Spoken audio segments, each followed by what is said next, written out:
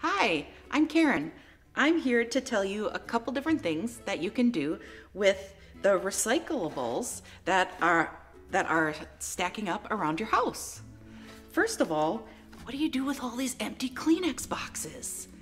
Well, first of all, remove the plastic, right? And your kid can do this. So give it to your kid. You're gonna make your own guitar. We all love singing. We all love Miss Wendy. We have to play her songs at home, right? So get a couple, take your Kleenex box, get a couple rubber bands. These are gonna be your strings. Super simple, super easy. Just put the rubber bands over the box. How many of a rubber bands you want. How many, how many strings does a guitar have? I don't know. You can look it up. You can teach your kid that. I, I seriously don't know, but it doesn't matter for this project.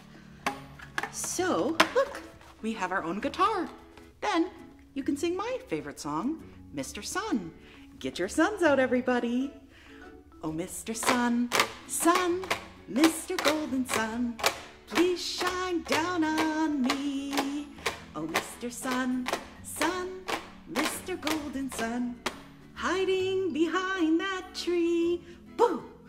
These little children are asking you to please come out so we can play with you. Oh, Mr. Sun, Sun, Mr. Golden Sun, please shine down on.